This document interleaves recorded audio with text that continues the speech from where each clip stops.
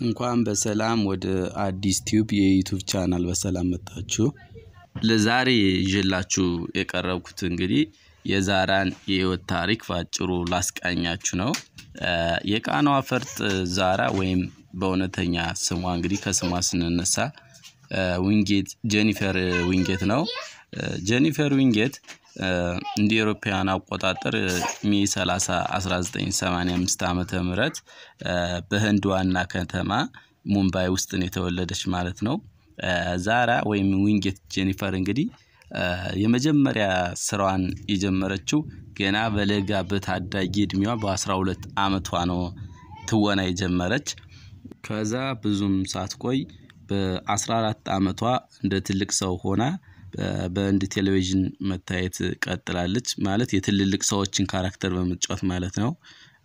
ዊንጌት ጄኒፈር ወይም ዛራ ኤፕሪል 9 2012 በህንድ ተዋናይ እና ሞዴል የሆነውን ካራን ሲንግ ግሮቨር የተባለውን ግለሰብ 2012 ላይ አግብታለች ማለት ነው። እንግዲህ እንዳለመታደል ሆኖ ፍቅራቸው ብዙም አልቆየ።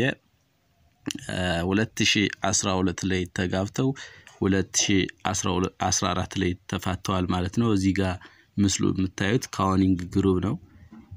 እንግዲህ ከብዙ ሴቶች ጋር ይወጣ ይገባ ስለነበር ያው በዚህ ባህሪው ከዛራ ጋር መቀጠል አልቻሉም።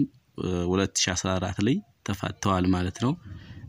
ከፍቻቸው በኋላ እንግዲህ አዲስ ሰው ታስተዋውቃለች። ተዋናይ ነው።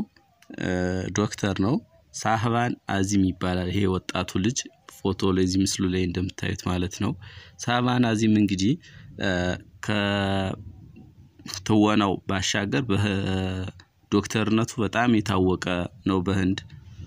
ዛራ ወይም ጄኒፈር ዊንጌት እንግዲህ አጠር ብለው የተስተካከለ ቁመናና በጣም የሚማርክ ፈገግታ ያላት ውብ ሴት ናት።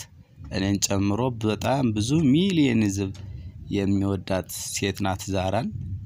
ዛራ አሁን ሁለት ሺህ አቆጣጠር ወይም በፈረንጆቹ ሃያ ሃያ የሰላሳ ዘጠኝ አመት ወጣት ናት ማለት ነው።